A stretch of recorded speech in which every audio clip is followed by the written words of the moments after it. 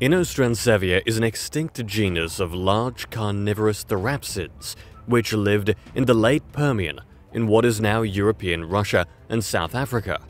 The first known fossils of this Gorgonopsian were discovered in northern Dvina, Russia, where two almost complete skeletons were exhumed. Three species of them were originally recognized Inostrancevia alexandri, Inostrancevia latifrons, and Inostrancevia uralensis. The new fossil discovery in South Africa suggests that Inostrancevia migrated 7,000 miles across Pangaea, filling a gap in a faraway ecosystem that had lost its top predators before going extinct itself. Inostrancevia is the biggest known Gorgonopsian, with the most massive fossil specimens suggesting a size estimated between 3 meters, 9.8 feet, and 3.5 meters, 11 feet in length. Inostrancevia is characterized by its robust skeleton, broad skull, and a highly advanced dentition, featuring large canines. The longest of these canines measures up to 15 centimeters, or 5.9 inches, and was likely used to shear the skin off its prey. Similar to other Gorgonopsians, Inostrancevia possessed a notable large jaw-opening angle, enabling it to deliver fatal bites. As mentioned, the Inostrancevia was likely a fully terrestrial predator that moved with an erect gait. Its limbs were likely positioned almost vertically instead of horizontally. However, this therapsid probably could not have moved its limbs too far forward. It is widely believed that Gorgonopsians were nocturnal creatures, and their vision was adapted to low light conditions. Only Clelandina has been confirmed to be strictly diurnal. This behavioral trait was not studied in Inostrancevia, but we cannot rule out the possibility that it preferred to hunt during the night. Gorgonopsians generally had quite a strong bite force, except for those with a less robust skull and longer canines, like Inostrancevia and Smilesaurus. The members of these genera had a much weaker bite, so they relied on their canines to slash prey.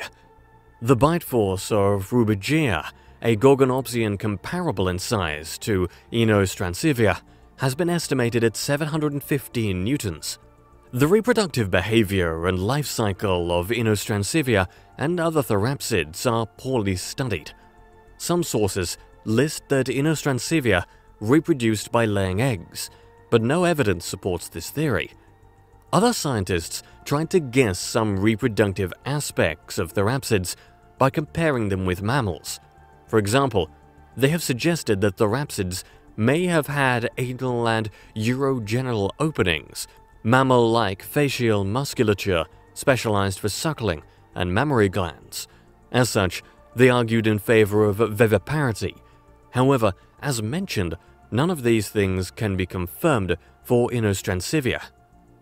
Additionally, even if Inostrancevia were viviparous, it remains unknown how long the gestation period was, how developed the babies were when they were born, and how much parental care the adults engaged in. Besides this, the ontogeny of the genus is also poorly studied, which is why the growth stages of baby and juvenile Inostrancevia remain in the shadows.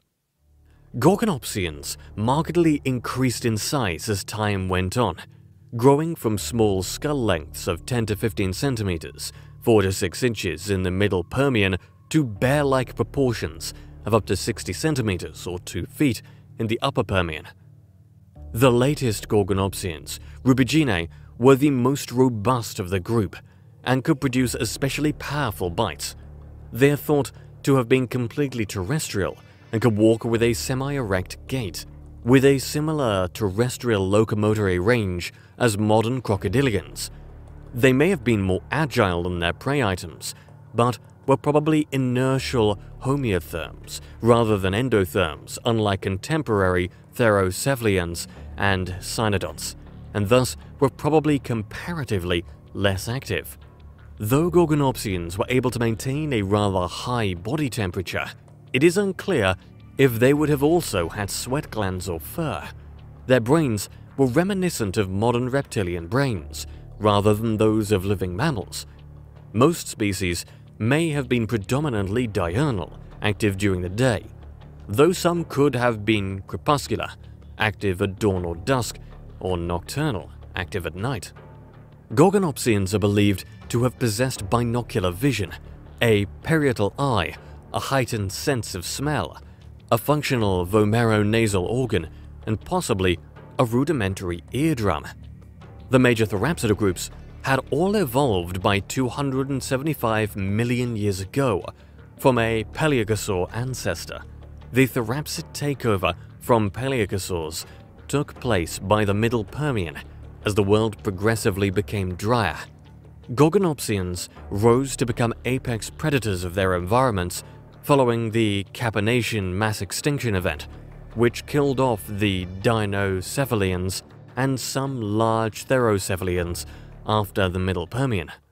Despite the existence of a single continent during the Permian, Pangaea, Gorgonopsians have only been found in Karoo supergroup, primarily in South Africa, but also in Tanzania, Zambia, and Malawi, the Moradi Formation in Niger, western Russia, and in the Turpan Basin of Xinjiang, China, with probable remains known from the Kundaram Formation in the Pranhita Godavari Basin of India.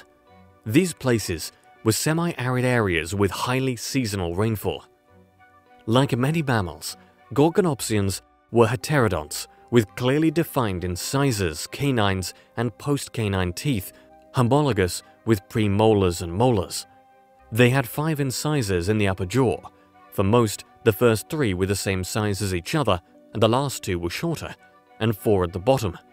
In the majority of Gorgonopsians, the incisors were large, and the upper canines were elongated into sabers, much like those of later saber-toothed cats. Some Gorgonopsians had exceptionally long upper canines, such as Inostrancevia, and some of them had a flange on the lower jaw to sheathe the tip of the canine while the mouth was closed. Sabers are generally interpreted as having been used as stabbing or slashing weapons, which would have required an extremely wide gape. Both the upper and lower canines of Rubidgea were elongated and the animal would have needed an even greater gape. The serration pattern of Gorgonopsians was most similar to those of theropod dinosaurs than to other synapsids. The palate also features tuberosities and ridges, which oftentimes have functional teeth, which may have been used to hold onto struggling prey, diverting these powerful forces away from the fragile canines. Gorgonopsians were polyphyodonts, and teeth grew continuously throughout an individual's life. Like some therapsids, while there was one functional canine, another canine was growing to replace it when it inevitably broke off. The left and right sides of the jaws did not have to be synchronous. So, for example, the first canine on the left side could be functional, while the first canine on the right side was still growing. Such a method might have been in play so as always to have a set of functional canines, as having a single or no canines would have severely impeded hunting, and growing such large teeth took a long time. On the other hand, because the functional canine is typically found in the foremost tooth socket, it is possible that canine replacement occurred a finite number of times, and the animal would eventually be left with a single, permanent set of functional canines in these sockets. In 1984, British paleontologists Doris and Kenneth Kermack suggested that the canines grew to match the size of the skull and continually broke off until the animal stopped growing, and that Gorgonopsians featured an early version of finite tooth replacement exhibited in many mammals. Gorgonopsians were likely active predators. The Rubigians have an especially robust skull among Gorgonopsians, comparable to those of enormous macropredators, which use their skulls as their primary weapon, such as mosasaurs or some theropod dinosaurs. Less robust Gorgonopsians, with longer canines and much weaker bite, such as Smilesaurus or Inostrancevia, instead probably used their canines for slashing, much more similar to saber-toothed cats.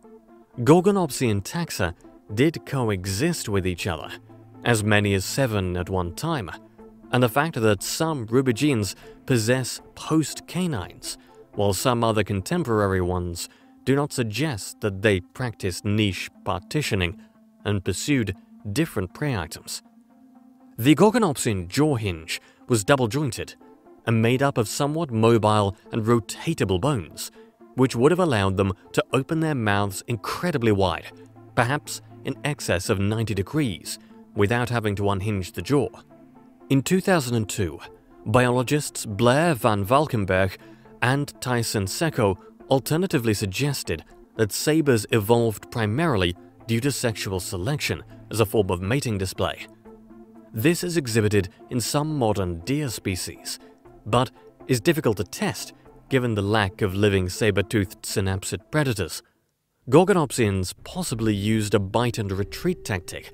The predator would ambush its quarry and take a sizable and debilitating bite out of it, and then follow as the prey tried to escape before succumbing to its injury, whereupon the Gorgonopsian would deliver a killing bite.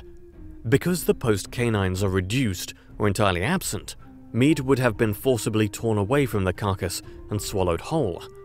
This puncture-pull strategy is also hypothesized to have been used by theropod dinosaurs.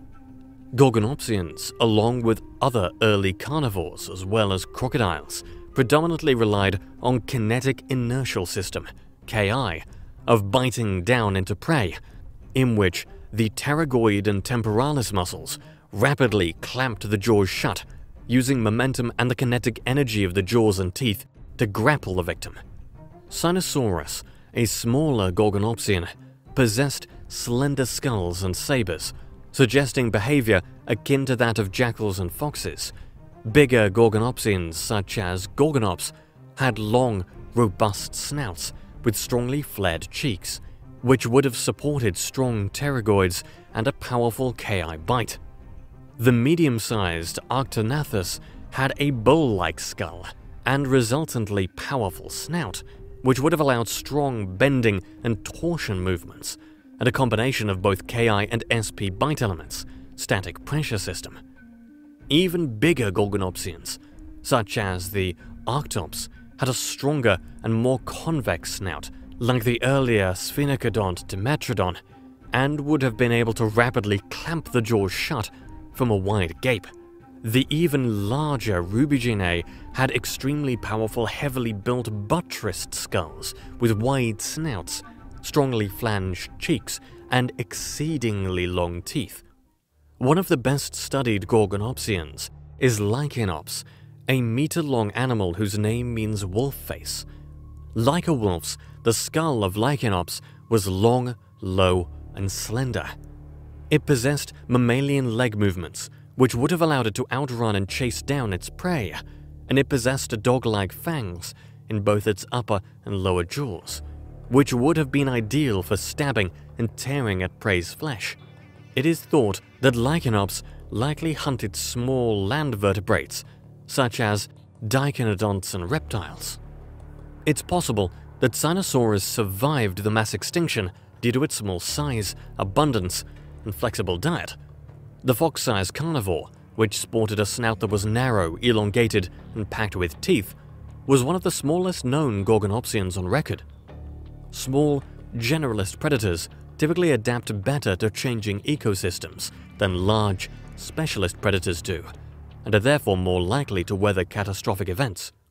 Gorgonopsians, including Inostrancevia, disappeared during the late Lopingian and Permian Triassic extinction event, mainly due to volcanic activities that originated in the Siberian traps.